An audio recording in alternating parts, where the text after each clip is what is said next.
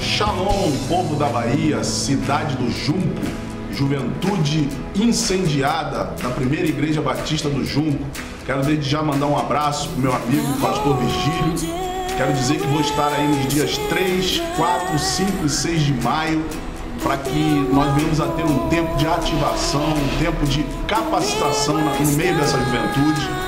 Eu creio que vai ser um tempo muito precioso onde vamos estar aí liberando o amor de Deus e capacitando essa juventude para fluir num novo tempo de ativação para essa juventude. Então nos vemos lá, dias 3, 4, 5 e 6 de maio, conectados com os céus da Bahia. É o que eu creio que Deus vai, vai fazer no meio dessa juventude. Graça e paz, shalom.